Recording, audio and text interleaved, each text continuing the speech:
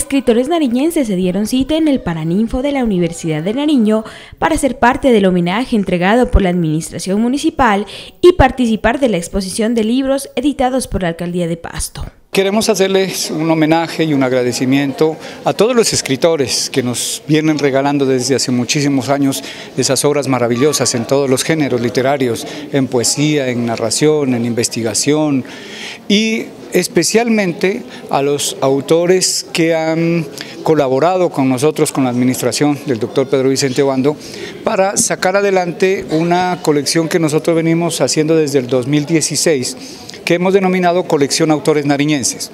Nosotros desde la Administración Municipal, y esa ha sido una directriz de nuestro alcalde, Pedro Vicente Obando, es que le apostemos a todas las actividades artísticas. No nos vamos a cargar solamente en una, en música o en danza. Hemos apoyado todo, todos los géneros culturales. Eh, son libros de mucho nivel, de mucha calidad y que no se van a quedar como siempre en las bodegas de la Secretaría ya pudriéndose. No, hay libros que inclusive ya están agotados y de distribución gratuita hacia la comunidad.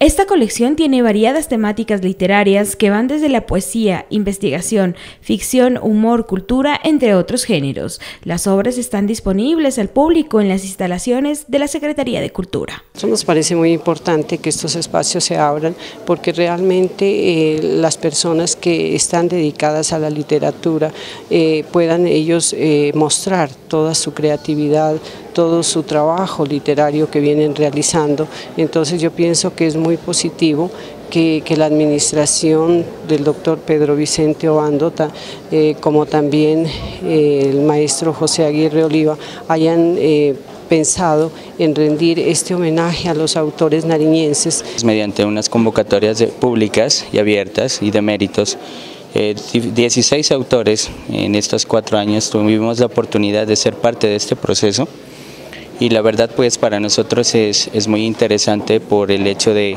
que la literatura en Nariño va comenzando a tener un auge diferente y pues desde las administraciones y en este caso desde esta administración pues se le ha dado mucha prevalencia a los autores jóvenes, que eso es muy importante también de rescatar a nivel de nuestra literatura que es muy rica. Fue una gran oportunidad, ¿no? porque eh, he publicado cerca de unas 12.000 caricaturas en el Diario del Sur desde el año 1983. Yo quería resumirlas en algo para tener un resumen, digamos así, ¿no? Y se me dio la oportunidad con la alcaldía y la Secretaría de la Cultura. Yo les agradezco a ellos porque fue posible hacer esta publicación. Hacen parte de esta compilación los escritores Samuel Enrique Concha, Laura Cero, Sergio Rodríguez, Alejandra García, Alex Maigual, Vicente Pérez, César Eliezer Villota, Miguel Ángel Garzón, Heraldo Uzcategui, Jesús Alberto Cabrera, César Oviedo, Juan Pablo Narváez, Orlando Morillo, Andrés Caicedo, Vicky Mabel Delgado Zambrano, Lidia Inés Muñoz Cordero, Clau Tuyú y Aura Joana Villota.